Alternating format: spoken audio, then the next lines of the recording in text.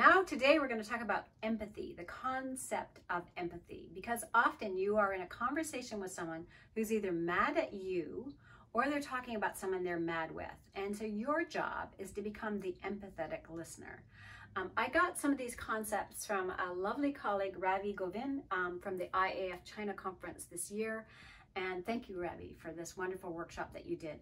Um, I also find that Dr. Marshall Rosenberg's work on nonviolent communication really emphasizes empathy as well. So I want to bring that into it as well.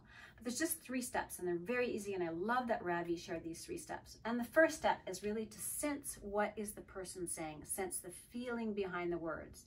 They might be saying something that actually is completely different from the feeling. But if you really pay attention, you can sense a sadness or you can sense obviously frustration or perhaps fear. And when you name that emotion accurately, that will make a huge difference. I'm sensing you're afraid of something here or that this is scary for you.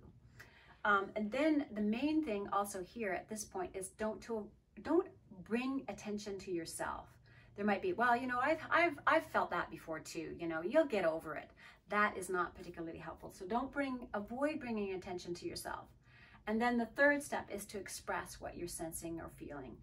Uh, I sense that you're feeling really upset about what this person said or what I said to you. Um, perhaps because you just really wanted validation at that point. You wanted them to acknowledge the pain that you've been going through. And just, can you let me know if I got that right? And that is the nonviolent communication format of expressing what you just heard, the feeling, the need, and then the request. What did you just hear me say? So that's a very quick lesson in how to practice empathy in a conflict situation.